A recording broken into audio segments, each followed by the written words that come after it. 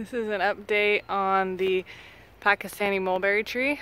Um, I didn't plant this in my quote-unquote fruit orchard. I planted it away a ways um, to where I'm going to have some garden space.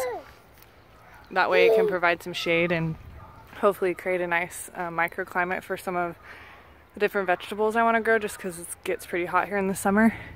As you can see, it already has tons of fruit on it. I've never tried the fresh mulberry and so I'm super excited to try this out.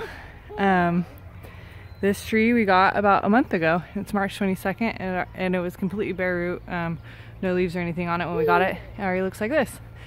And if you can see over there, we have a male um, fruitless, supposedly, mulberry tree.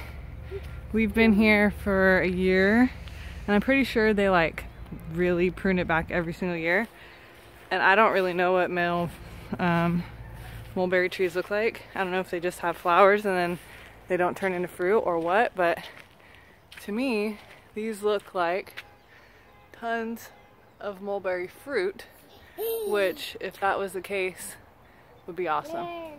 You can hear my little sidekick gardener right here hanging out with me. But um, yeah, so I'll keep you guys updated on the Pakistani um, fruit bearing mulberry and we'll see how it does.